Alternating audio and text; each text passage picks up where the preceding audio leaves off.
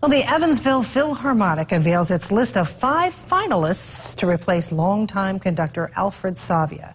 The list includes conductors from Brunswick, Georgia, Redding, California, Reno, Flagstaff, and Santa Monica. The Philharmonic began looking for a new conductor about a year ago when Alfred Savia announced that he was leaving. It received 215 applications for the position. The next step in the process will begin in the fall when each candidate pays a visit to Evansville to conduct the orchestra. They'll be here for roughly a week when they come to visit, and they'll uh, work with the symphony chorus. They'll work with the youth orchestras. We're hoping that they'll have a chance to interact uh, with different educational and business institutions. Um, we're going to have a public event that's a meet and greet.